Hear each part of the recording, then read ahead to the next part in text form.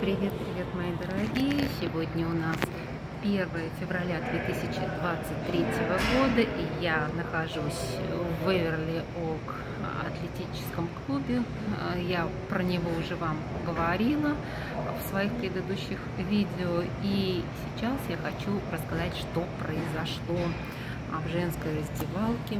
А в женской раздевалке произошло следующее. Там висит объявление, что нельзя пользоваться телефоном, но девочки молодые, ну, обязательно нужно кому-то отправить сообщение или еще что-то. И я часто э, грешу тем, что а, достаю просто телефон для того, чтобы проверить свои сообщения или для того, чтобы ответить какие-то там в Телеграме сообщения от своих родных. Но то, что я видела сегодня, это превзошло просто все какие-то ужасы американской жизни.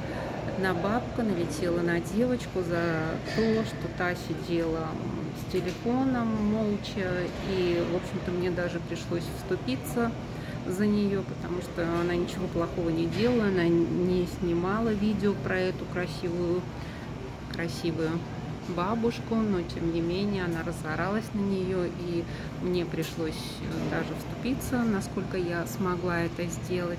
Но, в общем, хочу вам сказать, что страшнее бабок американских на свете никого нет. Они, конечно, будут вам улыбаться, они будут шутить и знаете, лицемерить, но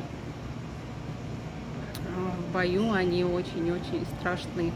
В бою словесном, я хочу сказать, они сразу бегут, стучат на вас, если что-то не так, да, я понимаю, что бывают разные ситуации, если, например, написано не снимать и не говорить по телефону, то будьте а, любезны этого не делать, но тем не менее все равно в любом случае нужно оставаться людьми.